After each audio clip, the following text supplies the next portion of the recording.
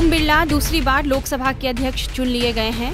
18वीं लोकसभा के पहले सत्र के दौरान आज नई लोकसभा अध्यक्ष का चुनाव हुआ और ओम बिरला को दोबारा लोकसभा का स्पीकर चुना गया।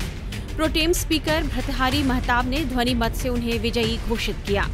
लोकसभा स्पीकर चुने जाने के बाद पीएम नरेंद्र मोदी और लोकसभा में नेता प्रतिपक्ष राहुल गांधी नए स्पीकर ओम बिरला को बधाई देने पहुँचे। पीएम मोदी ने ओम बिरला से हाथ मिलाकर उन्हें बधाई दी। राहुल गांधी ने भी ओम बिरला को बधाई दी और इस दौरान राहुल गांधी ने पीएम मोदी से भी हाथ मिलाया। उसके बाद पीएम मोदी और राहुल गांधी ओम बिरला को आसंदी तक छोड़ने आए।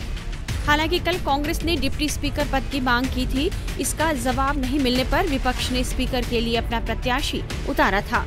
के सुरेश इंडिया गठबंधन की तरफ़ से लोकसभा स्पीकर के उम्मीदवार थे। केंद्र सरकार की ओर से विपक्षी दलों के साथ सहमति बनाने की कोशिश की गई, लेकिन बात नहीं बनी तो के सुरेश को विपक्ष ने अपना उम्मीदवार बना दिया। पीएम मोदी ने ही लोकसभा अध्यक्ष के तौर पर ओम बिरला के नाम का प्रस्ताव रखा। वहीं विपक्ष की ओर से केरल के कांग्रेस सांसद के सुरेश के नाम का प्रस्ताव रखा गया। ओम बिरला के निर्वाचन के बाद पीएम ने कहा, ओम बिरला का अनुभव देश के काम आएगा। आदरणीय अध्यक्ष महोदय, ये सदन का सौभाग्य है कि आप दूसरी बार इस आसन पर विराजमान हो रहे हैं। आपको और इस पूरे सदन को मेरी तरफ़ से मैं बहुत बहुत बधाई देता हूँ।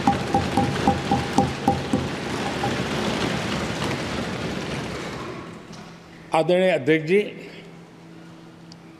मेरी तरफ़ से आपको शुभकामनाएँ हैं, लेकिन इस पूरे सदन की तरफ़ से भी आपको अनेक अनेक शुभकामनाएँ। अमृत काल के इस महत्वपूर्ण कालखंड में दूसरी बार इस पद पर विराजमान होना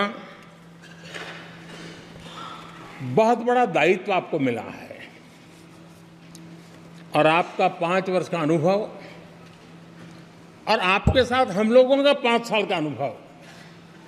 हम सबका विश्वास है कि आप आने वाले पाँच साल हम सबका मार्गदर्शन भी करेंगे, और देश की आशा अपेक्षाएँ पूर्ण करने के लिए ये सदन अपना दायित्व निभाने में आपकी बहुत बड़ी भूमिका रहेगी।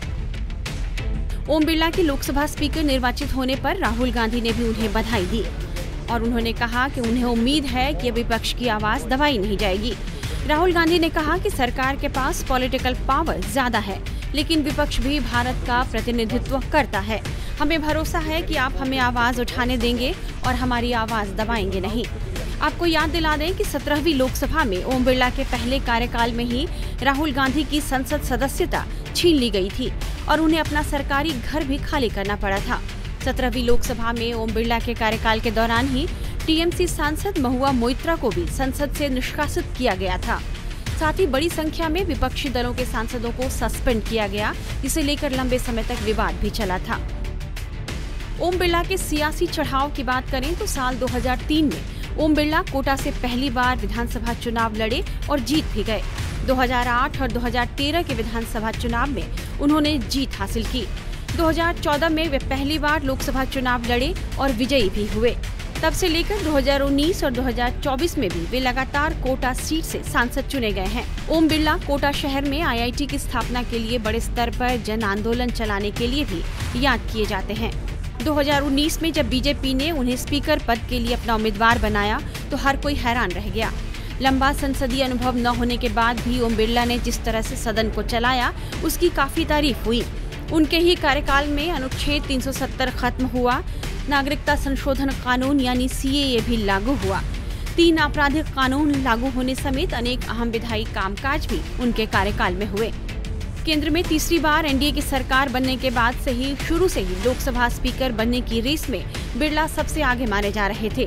शीर्ष नेतृत्व का करीबी होने की वजह से इस वे इस दौड़ में सबसे आगे थे।